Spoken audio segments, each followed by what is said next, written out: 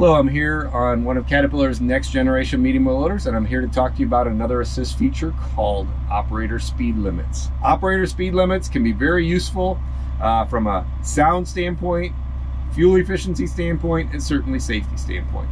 It's an assist feature because it assists the operator in limiting the maximum speed of that wheel loader. How do you set it, you ask? You go into the menu, you go to the assist features, and right there you'll see this operator speed limit that is open to the operator.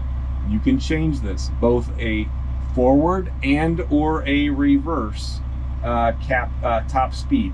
So I'm gonna go ahead and put my forward limited at 18 miles per hour and my reverse at 12 miles per hour.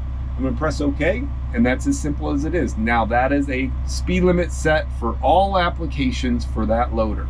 That operator just wanted that max speed limited in certain applications, under settings here, you can see application profiles, default application profiles, and here's a load and carry.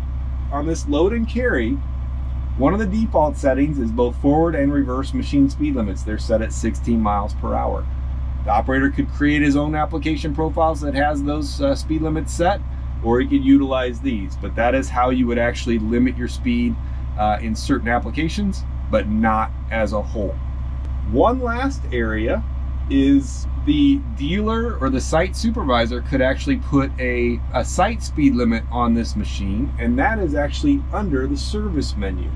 So if you went into the service menu and enabled